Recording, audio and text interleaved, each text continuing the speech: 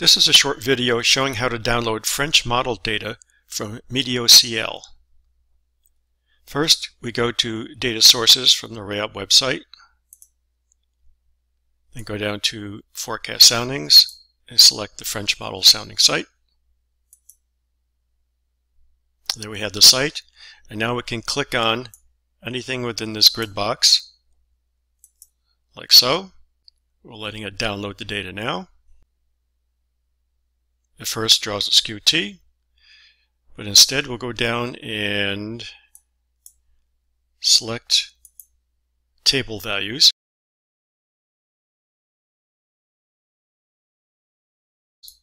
Like so, and there's a table values. Now right click, select all, and right click again and copy. Okay, and now we go to the RAOB program. And here's a blank RAOB screen. So we just go to the Edit menu, Edit Source Data, or press the F4 key, and to edit and paste. There's our sounding data. And we just go to File, Save As, and we'll just label X for now. And there's our plotted sounding.